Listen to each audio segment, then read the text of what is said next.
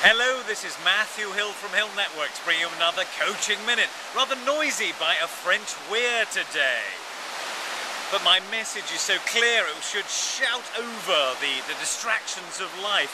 Where are you going next to get to your important outcomes that you need to achieve and your team or your population, your community needs you to achieve?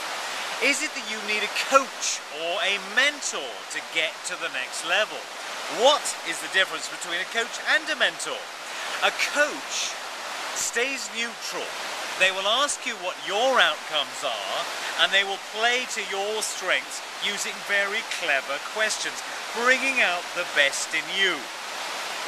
A mentor is a very different resource They've sort of been there, done that, and have lots of life experience to draw upon.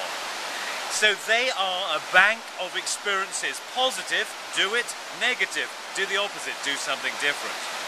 A third alternative, and here's a concept I want to leave with you today, is to put together a mastermind group of specialists who are going to help you. And by the way, you can help them.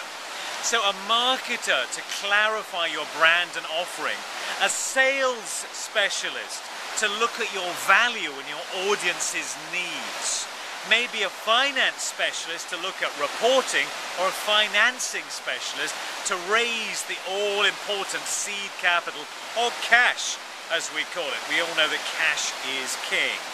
So this is the question I leave you with today. What do you need to take you to the next level in your personal development or your business development? Have a think. Please feel free to come back to me.